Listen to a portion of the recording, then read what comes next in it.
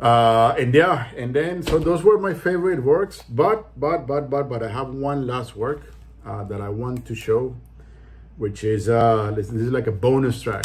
And uh, if you have another five more minutes, uh, just hold on there because this is a work that uh, that uh, that uh, that I decided to uh, to acquire uh, because I thought it was very relevant, uh, and it's a work that uh, that represents that identity struggle that is Hong Kong is going through. Not only okay, okay, perhaps no, I'm rephrasing that one. It's important the context of Hong Kong. Don't get me wrong, but I think it's a it's a struggle that uh, especially millennials are going through in, in general.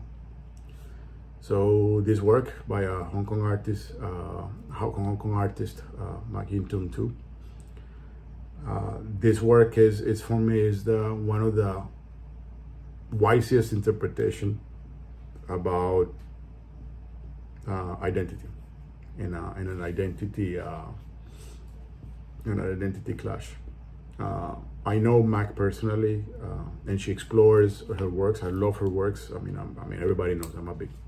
There you go. That's another Mak. I'm a big uh, because she, I'm a big collector and uh, and I'm a big believer on her because she's she's she's making she's questioning big time.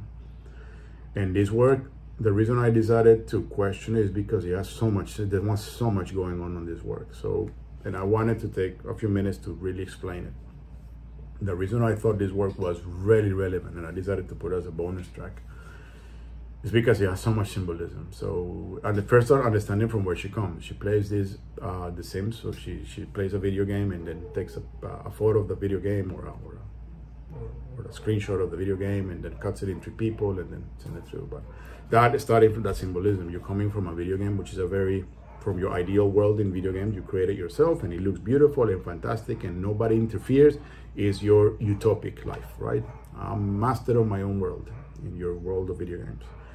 But when you take it outside and you try to give it to three different people that you hardly know, or actually you don't know at all because she, she hires them in, through the internet, then you create that friction with society, right? It's like the Aristotle, I think it was Aristotle, the one that said about uh, that if you put a kid in a cave, the perception of reality is going to be very different because once you get out of the cave, the kid will be shocked because you have, you have this social friction, i.e. politics so she takes that context, and of course, the whole mismatch and nothing matches and so on. There's actually the, the strong symbolism of, uh, of, of, of, of the, the frictions of reality. But this work is, first of all, I mean, first of all, discussing an identity in Asia, which is the, the, the whole work being read. So, um, so it has a strong uh, social context for Hong Kong. First, oh, that this is my take again. I mean, uh, uh, I think that the, the, the, the, color red was extremely powerful in this work. Uh, secondly, and I think it was most, most, most important, I think it explores, uh, Mak has always been very open, uh, exploring themes from introversion to sexuality to orientation to everything, right? Everything, everything, everything. She's really like out there. And I think I like artists that are bold enough to say, for me, uh, there are no there are no boundaries. I explore everything. And and then you have that element of a of a woman looking at, a, at, a, herself in a mirror and, and you know how powerful that that could be not only for women but for anybody like if you stare yourself for long in a mirror uh, there's actually i read many years book a book about this like psychological exercises and they actually recommend you to do that like a simple psychological exercises and it's like look yourself in a mirror and and call yourself. So you, you say your name to the mirror. It's pretty try give it a try. It's pretty bizarre that that, that exercise. So uh, the symbolism of the of the woman in the mirror and then the symbolism of uh, of the other person, which is her walking away with that kind of like a smile. Boom. When I saw this work in the PDF, I was just like, boom. That's it. This is a masterpiece. In my opinion, again, art is extremely subjective.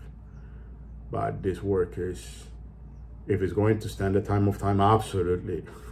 This work is that that that that more not the psychological dilemma of of a self identity and doubt and self doubt and and is, is, going to be a human is a human constant. It was there. This is the reason why we have psychoanalysts, and this is the reason why we have Carl Jung in a, and uh, and Nietzsche and Freud and so on and psychoanalysis. And this is the reason why we have uh, Duchamp, and this is the reason why we have uh, post uh, postmodernism and so on. It comes from works like this that you start questioning your identity uh, and the social context around it. So this work is is just this is postmodernism. There you go. Uh, this is just it's a mind blowing work. It's a mind blowing work, and uh, and yeah, it's I have to say that is one of my is it is today one of is one of my most valuable uh, or value like at my personal treasures. Yeah, what can I say? I have no more words. I mean, to a point. So this this work actually uh, ended into a, into a, into a, into an article that uh, that was published by Artnet, and, uh, and it was funny because uh, uh, when I told Artnet when we were discussing about the interview, I told them that uh, that this work was coming up. This is something that I was in, in, discussion with the galleries because they wanted to put it at the last day. so I told them like, ah, Artnet needs some photos. What if we take photos at the gallery? And so when I came with a photographer and everything, it was uh, I was mind blowing. Is is I was there with the photo. Like I think even the photographer really liked it, so he started taking a lot of photos for me going around the the the, the work. He took like I don't know like 50 photos. I don't know. He was shooting, shooting, shooting, and of course because that that that uh that uh, uh, so much movement going in, in, in the booth that that gather a, a crowd, right? So it was like also like about 30 people, I don't know, more going around. It was quite overwhelming. And, and, and one of the, the photo that eventually make it into Artnet, the, the photographer asked me, can you start explaining uh, the work? So in that, in that case was uh, staff from Art Basel, uh, who was part of the entourage. Um, so she came and I said like, okay, explain the work to me. So so it so when you take the photo, becomes more natural. So I was explaining the work and so on, the reason, pretty much the same narrative that I'm giving you guys. Uh, and and immediately, so people pick up those stories, and immediately as as the, we finished the photo session, there were tours. Like immediately they went into that work and start, start explaining the work as I was explaining it. And I look back and I'm realized like this work is relevant. This work is, is, is not, it's not, is socially relevant. It's exploring an idea and people are getting it. And again, I'm, I'm really proud of, uh, of, uh, of Mak. I mean, what can I say? Mak, you, you are, you are there. You, you, you are asking, you, you're exposing very important questions. Uh, you're an artist. You are an artist, Mak. You are a badass artist you're going to be huge. Uh, I always said. I've been working with Max since, his early days, and and of course, I mean, as you're growing and you, know like how things are going, and but since the day of the the, the book of the the hyena is, is an inside joke, but she knows very well what I'm talking about when she put the the, the hyena, the books, the kids' book about hyenas, the the animal. Until this, I always believed in you, Mak. I, I, you have a beautiful mind and you should go for it. Don't don't don't don't don't don't don't don't box it. Just just let it out. Everything that comes into your uh, into your mind, regardless of the topic, regardless of the taboo, let it out. You your aesthetics are absolutely beautiful. Even if though that I everybody knows that you don't paint, but that's not the point. You are you are a conceptual artist. So Mak, fantastic my what can I say? It's going in that wall. So once I pick it up, I think next week I need to go to the gallery to uh, to to pick it up. It's going on that wall, but later. I mean, uh, you will see that work changing. but uh, uh but uh, because I actually have a, I want to change uh, the work. I usually have a like a like a schedule in my at home, changing the work. So, uh, but yeah, that work is is is is, is part of my collection. I'm very proud of to have it with me and uh, and really uh, what I can say is that um, I'm super happy with Mak. I'm super happy with uh, with uh, with her career, and, and that for me is an artist of the future. So uh, if you guys are not familiar with Mak Ying Tung 2, please change your your your vision and and start looking at her. She is she's very young and she will surprise us somehow.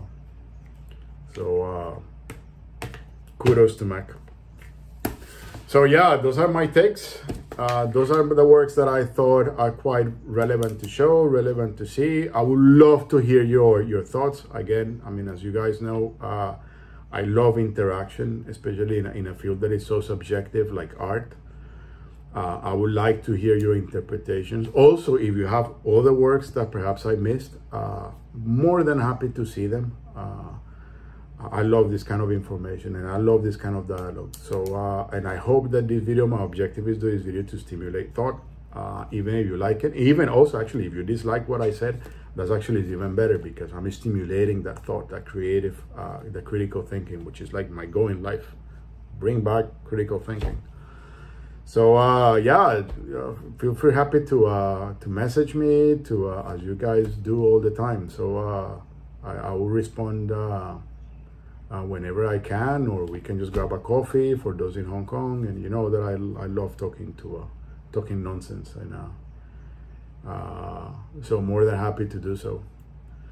So yeah, there you go. I, I planned to do a, a 15 minute uh, video, but I decided not to script it. Uh, I just went loose. I think I'm, I feel more natural when I just talk like this. It's a bit more sincere, make it more fluid. So uh, if you braved one hour of my me ranting about life, thank you very much.